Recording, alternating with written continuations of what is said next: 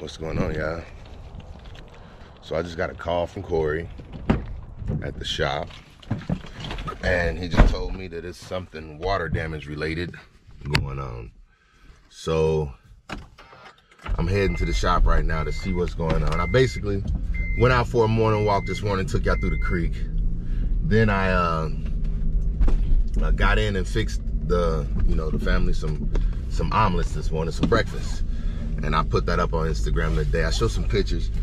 Basically, we were down to our last little yogurt, our Go-Gurt, and I wanted some too this morning. So I just made the boys some eggs, uh, like sandwiches, and then uh, put them some fruit on their plate and gave them a little bit of the yogurt so I could have the rest. I ain't gonna lie to you, I'm a little worried about what I'm about to find when I walk into the shop. Corey don't normally call me if it's a if something's a small problem and he called me first thing this morning telling me that the ceiling was down. So I'm kind of worried. I ain't gonna lie. I'm a little scared. So this will be the second water issue I've had in the barbershop. I'm gonna be honest, this is one of those things that make me like every time I feel like things are going good, I always get set back. And I'm saying I can't afford no more setbacks right now. Things are finally starting to go good, y'all. I mean, yesterday I just paid, and this is what's crazy. I just paid off my second credit card yesterday, y'all. That's what I'm still on that, trying to pay off my debt. I'm down. I didn't pay off two credit cards. I paid off my first one for this year. And it's like I just gave that money away and now here go another problem. And it's crazy because the credit card that I paid off yesterday, it was the business credit card. hey, it never fails, y'all. It's like when it rains, it pours. But I'm gonna tell y'all, if you think you're going through something, I'm letting you know, I stay going through stuff. That's why I try to tell y'all, the morning walks, they be well needed because that's how I clear my mind. And I'm gonna be honest with y'all, the feedback that y'all give me, it helps me tremendously because some of y'all feedback helps me think through situations. I know everybody don't understand that and everybody, this is boring to them, but what I'm saying is, y'all help me just as much as y'all be letting me know I help y'all. So I appreciate y'all.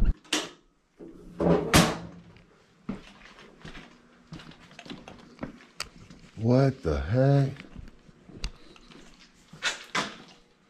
Whose room is that in? Mine? That's I'm thinking. I was just upstairs looking at that. Yeah, that's got to be that's got to be my room. Yeah, I got a water leak. All right, thanks, man. Let me check that right quick. Shoot. I thought it was gonna be like the whole ceiling down. I see what you're saying. Yeah, that's bad enough though. Oh boy. I thought it was gonna be something like the whole thing was gonna be down. Right there. It's leaking. Right here. That's my problem. This needs to be tightened. And it's before the shutoff valve. So I gotta get something. All right, so I found the leak. It just so happened to be in the room that the last person moved out of. Wow. Wish I would have caught that a little bit sooner. Now, let's get a bucket. This is what I be talking about. Little things like this happen. And it costs you a lot of money. Look at that. That little bitty drip caused all that damage downstairs. So now I gotta go home, get the dehumidifier, bring the dehumidifier up here, start drying out downstairs because it's obviously been leaking for a long time. But this is the problems you run into when you run your own business. Now I gotta figure out how to get that fixed because I don't know how long it's done damage, but it's been at least the weekend. All right, let's get to it. All right, y'all. So your boy gonna need a plumber. This ain't gonna be good. I'm gonna need a plumber. Going home right quick. I'm gonna call and see if I can't get me a plumber to come out, take a look at this uh, pipe. I think what happened was when old girl moved out, uh, she probably had something that probably bumped the pipe and it probably knocked it loose. I'm not gonna consider that to be nobody's fault. I'm not really worried. I caught it fast enough to where it's not too big of a, it's not too much damage. It still sucks a little bit, but uh, it is what it is. This is what happens when you operate your own business. It does suck a little bit, but man, I tell you, at least it ain't as bad as I thought it was gonna be. It could have been worse. Hopefully it doesn't get worse before I get a plumber to come out because it can get worse very quickly. And I would hate to shut off all the water to the building. So um, we got it all cleaned up. Now I gotta go and get a plumber to come out. So that's where I'm headed now. Hey, y'all stay tuned see how this day play out because I really don't know. But this is how my life go. It's always one turn after another, no joke. It's like there is never a guarantee on how everything is gonna go. But I'm glad I got out and got my morning walk this morning because it keeps me well prepared for things like this. I already had my peace before my day got started, so ain't nothing gonna rattle my peace. The plumber just called, said they on their way. So I'm heading back to the barber shop. See how much this is gonna cost me. So, once again, heading back to the shop. Hey y'all, so we back up in the shop. What's going on? hey, so uh I had some problems, y'all. So this was one of the uh the heating elements that I had got for these chairs right here. And this heating element, it went out. Or actually, I ain't gonna say it went out. I don't think it ever worked, but I never had a cosmetologist in the building to use it. So I never I never got it working. So it's out of warranty because I never used it. So I had two of them. So I went ahead and bought another one because I had two cosmetologists in the building, and now this one is working. And I don't know what I'm gonna do with that one, but that don't matter. Anyway, so I don't know if I told y'all that I come in and I change my filters once a month. So what I did is I bought these on Amazon, and I just change my filters out every single month. Every single month. I know they last longer. But what I'm saying is, see, these say they go 90 days, but it's more cost effective in the long run to just change them out every month. And what I'm saying is, the cost of changing a air conditioning unit, it's better to just replace one of these every month. It'll it'll make it last twice as long if you do it that way. I know it sounds like it's not a good thing, but I'm saying there's more people who forget to change it every day, every every 30 days. There are more people in this world who forget to change this filter and go well over 90 days, which does more harm. I'm saying if you get on the schedule of doing it more, you'll forget to do it less. I guarantee, even with me skipping a month, I'm still doing better than somebody who does it every 30, every, because a person who does it once a year, you'll forget. And then when you forget, when you remember, it's too late. I'm saying if you live in an apartment, get used to doing this because if your landlord doesn't do it for you, if your furnace breaks down, they will say it was your fault. So I'm saying, make sure you always remember to change your air filter. I do it every month. My wife even said to me, I don't remember you ever changing an air filter. as long she, she's never even known there's been an air filter in the houses that we lived in. I'm saying as long as we've been together, I've always replaced my air filters. Now, when we first moved into the house that we're in, we had this big fancy. We had a big fancy air filter in that. Uh, uh. It was just one air filter. See, this is what I'm saying. You see how often I change my air filter? This is the one I just took out. It's still perfectly clean because since I turned off my furnace, when I put this one in, and look, watch this one. Look, it's solid white. I just put this one in on the first of this month. I'm saying when it comes time to change my filter again after this month, when it comes time to change my air filter again, I will put this air filter back in because it's still clean. It doesn't have any dirt on it at all. So until I turn my furnace back on, I will be rotating between these two filters because there should be no dirt on either of them. But that's just to stay in routine. And then I will keep using these.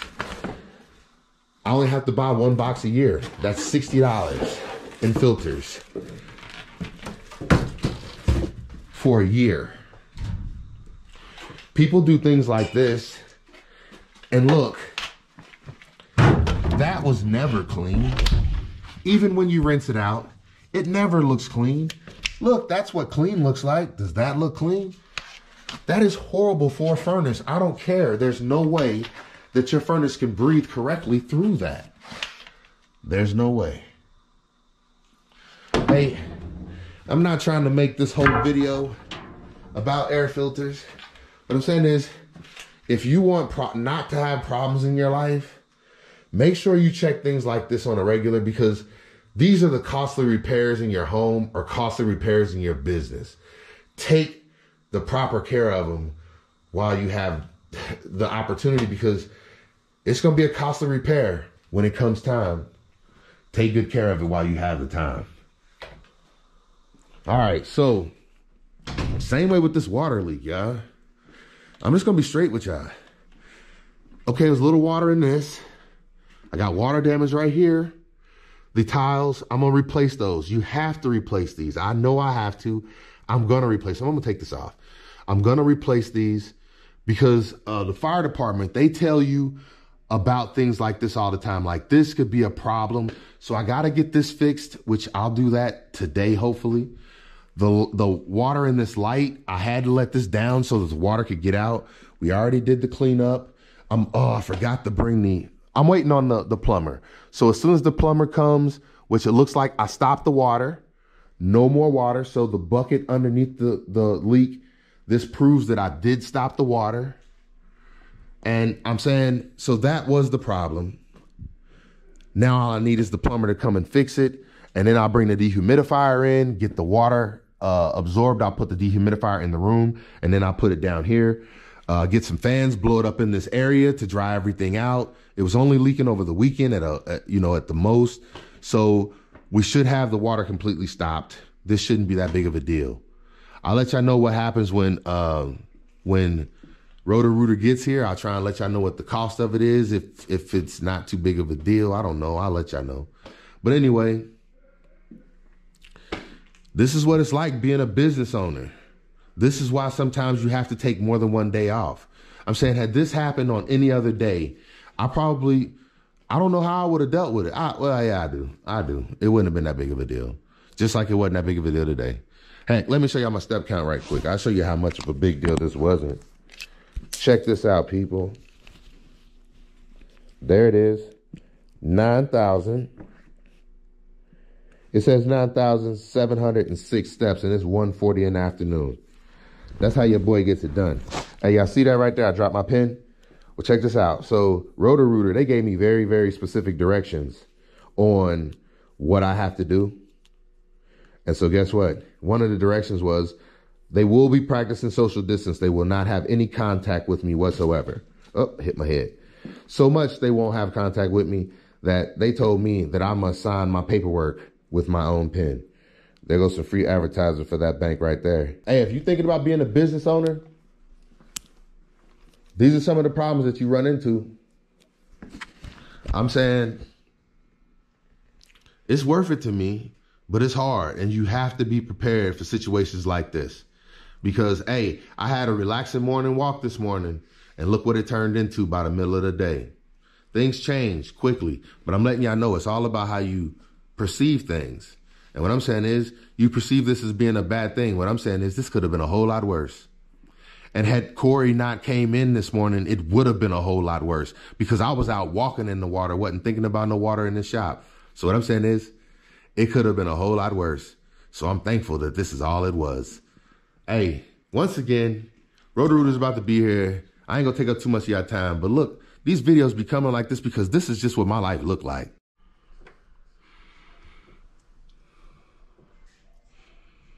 My guess, my guess is what it's gonna be is, I don't know. Did you have somebody put those on, or was those on initially when y'all moved in? Initially when I moved in. Okay. Well, what I'm saying is, when I made this a barbershop, that's the initial point that that was put on there. Okay. So you got a couple of options. Uh, what more than like what's more than likely was wrong with it is either the O-ring that's inside isn't sealed, it's not tight enough, or something is up with the pipe. The pipe could be split a little bit right there, but I doubt that it's gonna be split because it's just dripping. It's just kind of right. It's just a a slow drip. Right. So you got a couple of options. You can we can tighten it or we can change it. Me personally, it's there. I don't know how long it's been there. How long has it been leaking like that? Well, just since the weekend. Is that when it got put on? Well, no, that's Or- when she moved out. She so a young lady just moved out on the 31st of the month of of, of December, Okay. and she had a it was a table here Uh-huh. or something here that she had, and I'm thinking when she I'm hoping that's all it was is when she moved her stuff out, she dinged it. I'm hoping that's the worst case, you know. It, it's, it's possible. Um, I'm not I'm not complaining either way. I'm saying what is it gonna take to fix it? Is all I'm asking. change it. Well, let's Um, make that happen. Change it. Put a new one on. Let's make that happen. I'm saying. All right. You, you telling me it's about to kill my pockets? Nah, it ain't, it ain't about gonna to say, completely. It ain't gonna completely kill. Oh, he said, did y'all hear that? Now, now, now, I got some subscribers now. I'm telling them about Roto Rooter. I get, I gave them some free advertisement. But Ain't now, nothing uh, free. I give reviews. I'm just playing. So you're looking. Um, hmm. I can write you up an estimate what it takes to fix it right quick. that sound good? Yeah, yeah. I'm, it's it, gonna get. It's, I'm saying it's gonna get fixed today. You can write the estimate. That's fine. All right. Give But I'm uh, saying it's getting fixed. give me a few minutes. Do you just want to do one, or you want to? You guys want to change the one, or you want to? Yeah, I just wanna change. I just want to change the one. I know that's gonna cost me half as much. hey, that's how I think. Yeah, I'm saying. yeah, yeah, we're gonna get it changed today too. So it don't. It, just let me know. I appreciate Give it. me, give me a couple minutes. All right. And I'll be right back. in. All right, and I got my own pen. All right, so there we go, y'all. Y'all see how it is. So it's about to get done. Hey, like I said, I feel like he gonna treat me fair. I can guarantee it. So I'll let y'all know how he treat me when we done. And it is. This is a different area, so people feel differently out here. But what I'm saying is, I feel like I'm always treated fair. So I'll let y'all judge. hey, y'all take it easy. Let this man get to work and let me get to work too. All right. And see, that's what I thought it was, was that piece, but I didn't know how to adjust that piece. I was like, if I get on there and start tightening it and that boy pop off, it would have been water just gushing straight out of the wall. Shut it off. Yeah, and it would have took me a minute because I'd have had to get a ladder. I ain't tall like you. I'd have had to get a ladder. That's why I ain't touch it because I knew if I messed that up right there and that boy would have shot off, it would have made a whole bigger mess than what I got. A lot better, man. Yeah, yeah. I, I Um, let I let people who professionals do what professionals do. Let me uh, let me go grab a couple things I'll be here. because I got that. I got that in my truck. All right. Look like we about to have a problem taking care of today, y'all. In a few minutes. Yeah, see, I want to explain something to y'all. So basically, what I saw when I was dealing with it was right here is where I was scared. If I would have lost that connection and it would have shot off, or if I would have touched it and messed it up, then water that big would have been shooting from there to this chair or to the wall, and it would have shot everywhere in the room. If I would have messed that up, that's why I'm saying sometimes it's best to let a professional do what a professional do because if you jump in thinking you know what you're doing, if you do something wrong, it can create so much more of a bigger mess. I'm saying when you're not 100% sure what you're doing with electrical, with plumbing, with anything, look, if you're a barber, your profession is being a barber. Cut hair and do it well. But when you have issues like this, leave it to the professionals if you want to save yourself some money. You think that what I'm paying is going to be a lot. What I'm saying is if I had to try to do this myself, I could have been paying thousands and I would have been liable to my insurance company. I would have been liable because I would have tried to do it myself. What I'm saying is don't mess with things like this on your own. Call in a professional. Call in a professional. What I'm saying is I called in a professional. He's acting like a professional. I'm going to give him a professional review when I'm done, y'all. Hey, this is what we do. I'm going to give y'all the information. Y'all stay tuned. You are good to go, man. You heard that. I'm good to go. He took care of the problem. Hey, he gave me a, I, I feel a fair price. We talked about it. I think he could have been much harder on it. He took care of it quick. He gave me a good, fair uh, estimate on the rest of it. There you go right there. That's what we working for. Hey, this is like the third time I done had to start my year off with Roto Rooter at the door. And I'm saying they didn't did what they needed to every time. And he is correct, no leak.